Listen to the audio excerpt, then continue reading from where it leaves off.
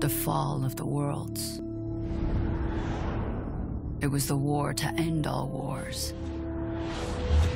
There was no one left to fight. No war memorials. No wall with the names of the dead. No statues of heroes. Only empty cities and the ruins of great civilizations on two planets. Tumbleweeds, skulls, crows. Only in Zalem did the light stay on. Who attacked first? It doesn't matter.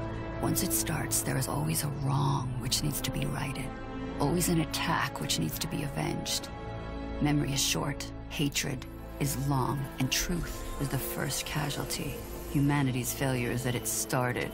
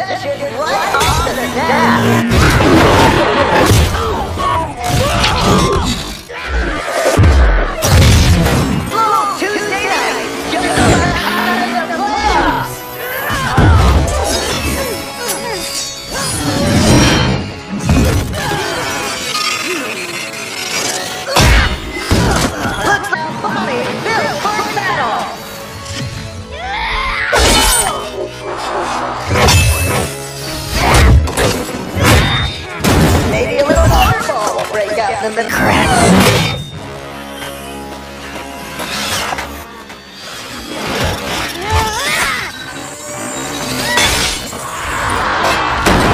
Oh, looks like it's no rules Tuesday out there, folks.